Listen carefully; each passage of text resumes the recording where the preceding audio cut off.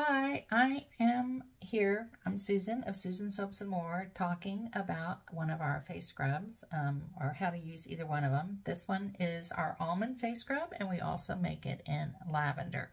It's basically our either almond or lavender oatmeal soap ground up with uh, extra oatmeal and a little bit of cornmeal added and more essential oil. So it looks like this. So you don't need very much in your hands to use it. Got, if you can see that. So about that much. Hopefully you can see that. It's about, I guess about a teaspoonful, something like that. I'm going to take my glasses off now and try to tip my phone down so you can see me a little bit better. And then I um, just make a fist and wet it. I want to make a fist like this. I scoop this over here. See how this works here. And dampen it just a little bit because you want to end up with a paste about like that. So, and then also it's probably better if your face is at least a little bit wet. I Should have done that first. But then you want to rub it in your hands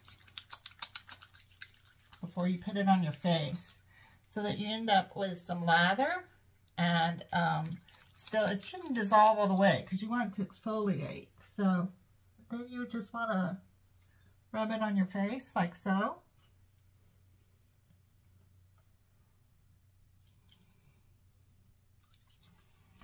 You need to add a teeny bit more water, you can do that because you want it to be exfoliating, but you don't want it to be dragging on your face.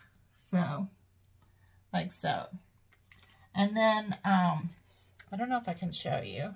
see if I can get it. Um, can you see?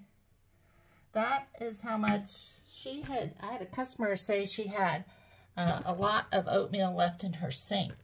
Uh, you shouldn't really have that much. There's just a few little drops of oatmeal here in my sink. So then once you do that, you just want to rinse your all the scrub off your face.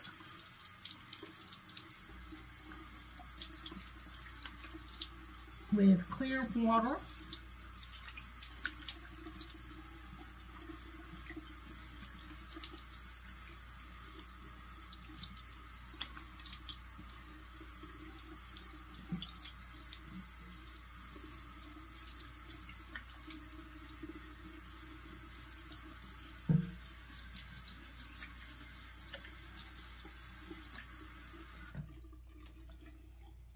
And then pat dry.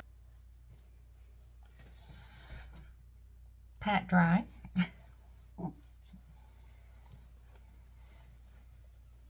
and then I usually uh, follow with uh, a little bit of my face serum. And I use the anti-aging. And to do that, I just tip it your skin's already going to feel super smooth after using the scrub. that's three drops, maybe four. Put some on your neck, which I always need. And you're good to go. Let it soak in. Shouldn't take that long, and you're ready to for your day to start. So, um, the face scrub, it does, in addition to cleansing, it actually exfoliates. So you really don't probably want to use it more than about um, twice a week at the most, once a week. See what's good for you. So that's how to use Susan More face scrub. Thanks so much for watching. Have a great day.